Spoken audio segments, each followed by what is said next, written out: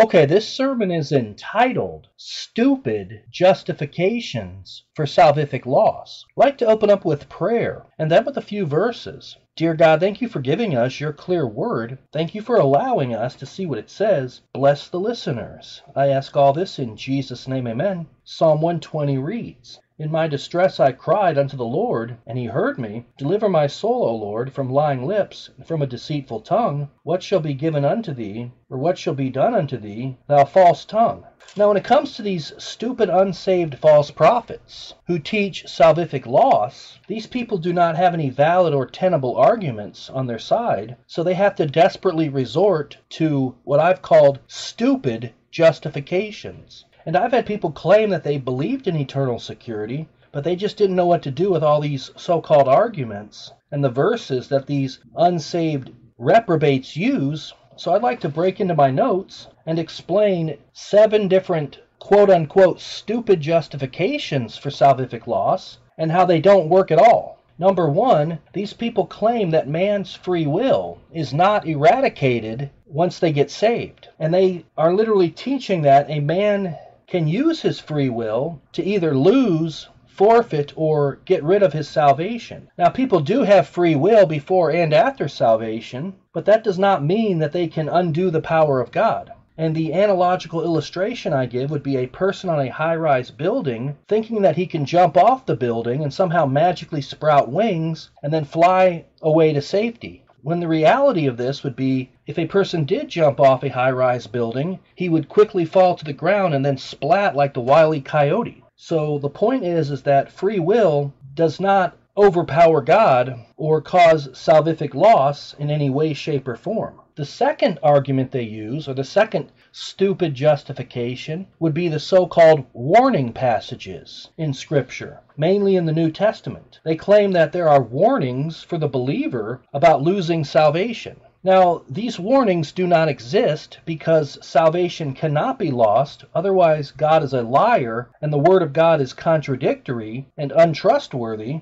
But let's take a look at one of the passages they like to use Turn over to Romans chapter 11. It reads in verse 22 Behold, therefore, the goodness and severity of God, on them which fell, severity, but toward thee goodness, if thou continue in his goodness, otherwise thou also shalt be cut off. Now, in Romans chapter 11, we're dealing with God's chosen people, and this is about the nation of Israel. In verse 7, it reads, What then Israel hath not obtained that which he seeketh for, but the election hath obtained it, and the rest were blinded. So we're not dealing with individual people losing their salvation or being cut off from God salvifically. This is talking about national Israel. And all you have to do is just jump back to verse 1, and it proves that God does not cast away his people. It reads, I say then, hath God cast away his people? God forbid. For I also am an Israelite of the seed of Abraham, of the tribe of Benjamin.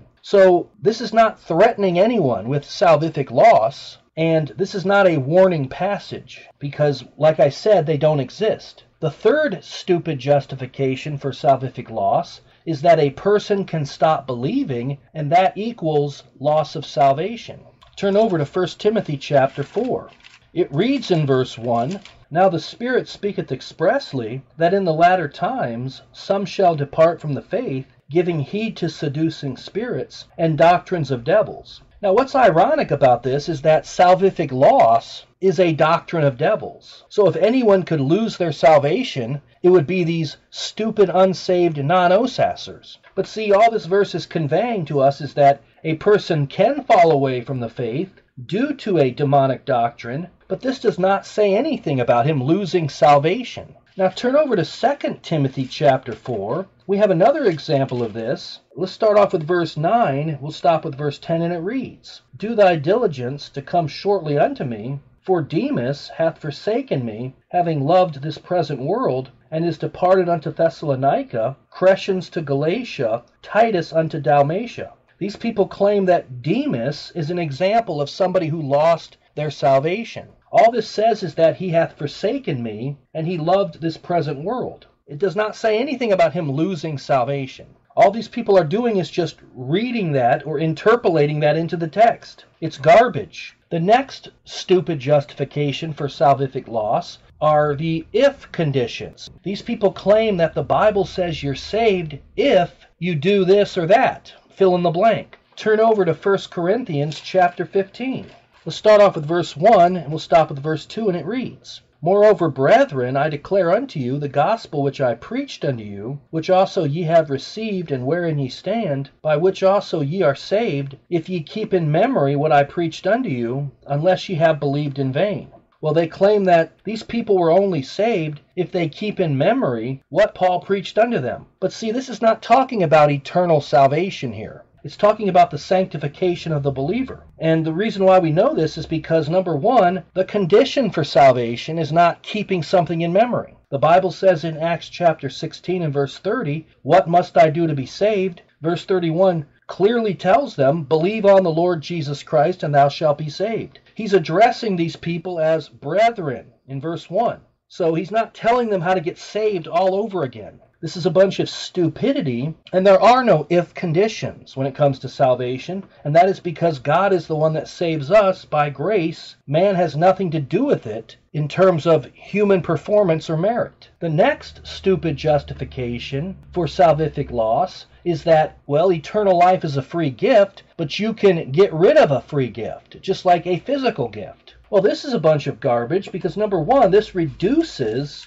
eternal life to some pathetic trinket or something that you can receive in the flesh. That's not what salvation is. Turn over to Romans chapter 11 again. Let's take a look at verse 29 and it reads For the gifts and calling of God are without repentance. Salvation is a gift. It's based on God's calling, and it says they're without repentance. In other words, God would have to repent in order to give your salvation back. And that never happens. God is not an Indian giver, and salvation is irreversible. Number six, these people claim that the seal can be broken when it deals with the Holy Spirit. Turn over to Ephesians chapter 4. Now, this has to be the dumbest argument I've ever heard. In Ephesians chapter 4, it reads in verse 30 And grieve not the Holy Spirit of God, whereby ye are sealed unto the day of redemption. Now, the word sealed in the Greek is sphragizo, and this literally means a permanent or secure seal. It's another word for a pledge or down payment. It's a marketing term with legal implications. It's akin to what we know as a deposit insurance. And one benefit of deposit insurance is that it's protected by the FDIC, the Federal Deposit Insurance Incorporation. And that guarantees that nobody has access to your money or your funds. And that's the same way with salvation. Not even Satan himself can undo the seal. And the simple fact that it says we are sealed unto the day of redemption guarantees that the seal cannot be broken. Because if it could, it wouldn't be until the day of redemption. It would be until you somehow broke it. And I guess the Holy Spirit is inept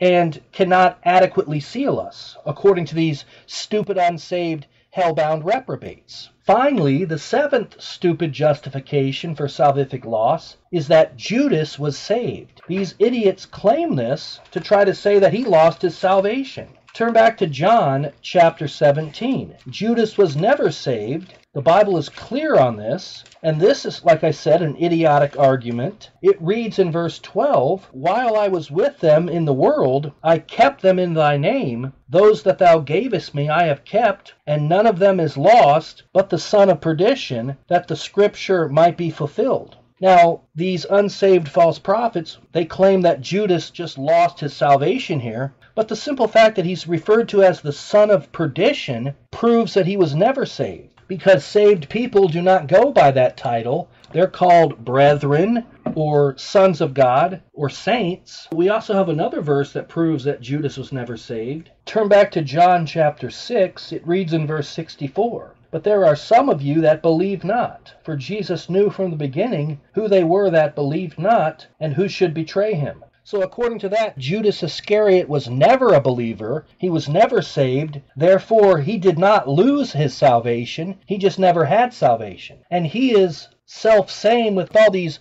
stupid devils who think that you can lose salvation. They don't have salvation either. So, watch out for these false prophets and all their stupid justifications, all they are are just pathetic attempts to try to pervert what the scripture clearly teaches, and that is that the believer in Christ has eternal life. They shall never perish. They will be raised up at the last day. They'll never hunger. They'll never thirst. They'll never die. And they have everlasting life that can never be lost. And all we need to prove this is just John 3:16, for God so loved the world that he gave his only begotten son that whosoever believeth in him should not perish, but have everlasting life. And there are no verses in the Bible that negate that promise and that truth. So that's why these stupid unsaved devils have to resort to stupid anti biblical justifications for their retarded teaching. That's all I have. Let me go ahead and close in prayer.